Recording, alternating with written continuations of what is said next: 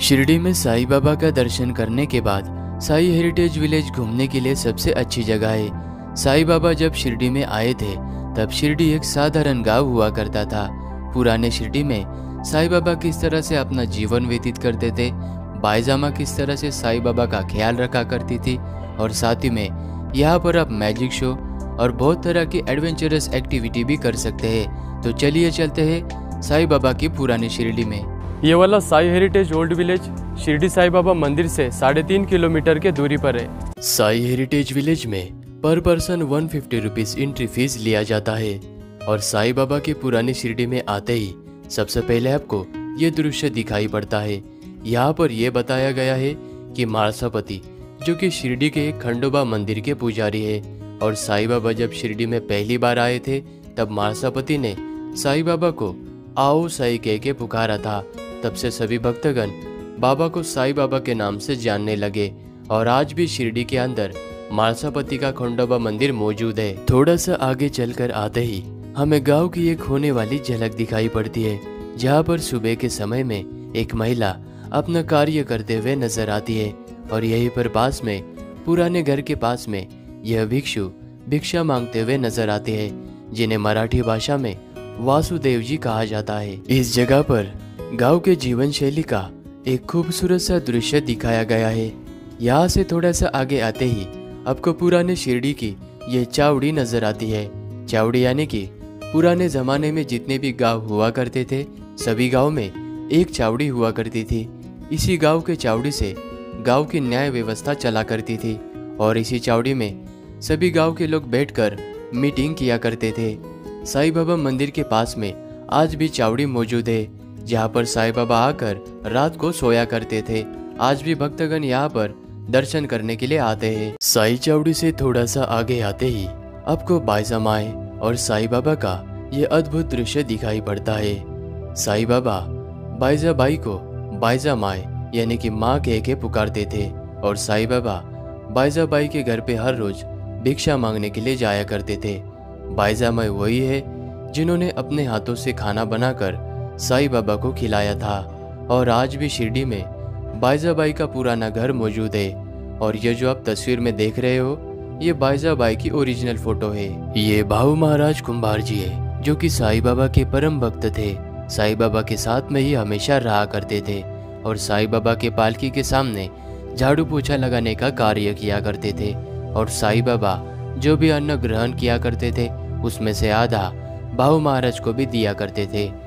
साईं बाबा समाधि को प्राप्त होने के बाद 27 अप्रैल 1938 को भाऊ महाराज का भी देहांत हो गया था। पुराने शिरडी का यह दृश्य साई बाबा की जो गुरुवार को पालकी निकलती है, उसको यह दृश्य दर्शाता है। सभी भक्तगण एक साथ आकर द्वारका माई से पालकी निकालकर बड़े धूमधाम से साई चावड़ी में पालकी को लेकर जाते हैं। साई पालकी के सामने आपको यह दृश्य नज़र आता है, जो कि खंडोबा मंदिर में होने वाले जागरण सोहड़ा को दर्शाता है। साई बाबा शिरडी में 16 वर्ष की युवा अवस्था में आए थे और मंदिर के पास बने नीम के वृक्ष के नीचे उन्होंने खुदाई करने को कहा था और खोदने के बाद चार जलते हुए दिए वहाँ से प्राप्त हुए थे। वो साई बाबा का गुरु स्थान है। उसी दृश्य को यहाँ पर दर्शाया गया है। अभी हम आ चुके हैं पुराने शिरडी के द्वारका माई में, जो कुछ इस तरह से दिखाई पड़ती थी। द्वारका माई में सभी गाँव के लोग एक साथ आया करते थे। और साईं बाबा सभी गाँव के लोगों के लिए अपने हाथों से खाना बनाकर, अपने हाथों से ही खाना परोसा करते थे। आज भी मंदिर के पास में द्वारका माई है, जहाँ पर अखंड रूप में धुनी जलती रहती है और बाबा जिस चूल्हे पर खाना पकाया करते थे, वो चूल्हा भी द्वारका माई के अंदर आज भी आपको दर्शन के लिए रखा गया है। यह एक लोहार है। साईं बाबा धुनी के पास में जब बैठे थे, तब गाँव के एक लोहार के घर पे छोटा सा बच्चा गलती से आग के भट्टी में गिर गया था। तब साईं बाबा ने द्वारका माई में बैठे बैठे जलते हुए धुनी में अपना हाथ डाला था और इस छोटे से बच्चे को बचाया था। उसी घटना का यहाँ पर नाट्य रूपांतर करके हुए दिखाया हुआ है। यहाँ पर साईं बाबा समाज को जो एकता का संदेश दिखाया करते थे, उस दृश्य को यहाँ पर दर्शाया गया है और साईं बाबा गाँव में अवश्य होने पर गाँव वालों के चिकित्सक और भी कई प्रकार की सेवा किया करते थे। 15 अक्टूबर 1918 को विजयादशमी का दिन था। इसी दिन साईं बाबा महासमाधि को प्राप्त हुए थे। समाधि में जाने से ठीक पहले साईं बाबा ने अपने परम भक्त लक्ष्मीबाई शिंदे को नौ चांदी के सिक्के दक्षिणा के रूप में दिए थे। लक्ष्मीबाई शिंदे वही है जिन्होंने तीस वर्षों तक साईं बाबा की सेवा की थी।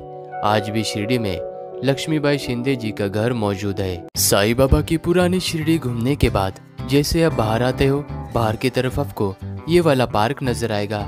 यहाँ पर आप बहुत सारी गेमिंग एडवेंचरस एक्टिविटी कर सकते हैं, जिसमें से अभी हम टॉय ट्रेन राइड पर जाने वाले हैं और इस टॉय ट्रेन पर जाने के लिए पर पर्सन फोर्टी रुपीज़ अलग से टिकट देना होता है।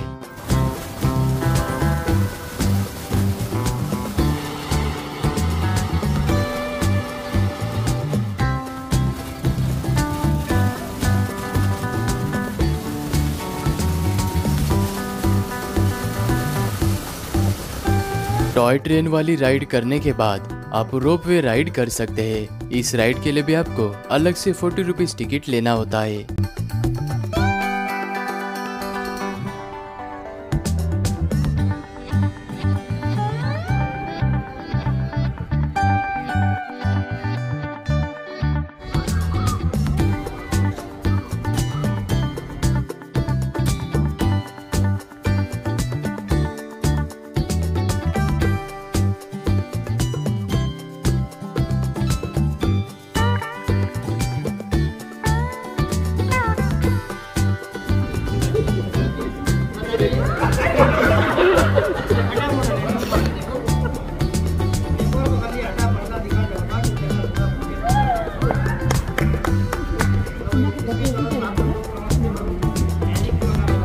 तो इस वीडियो को यहीं पर एंड करते हैं। अगर मेरी वीडियो आपको अच्छी लगी तो वीडियो को लाइक करना चैनल को सब्सक्राइब करना। मिलते हैं आपको नेक्स्ट ब्लॉग में।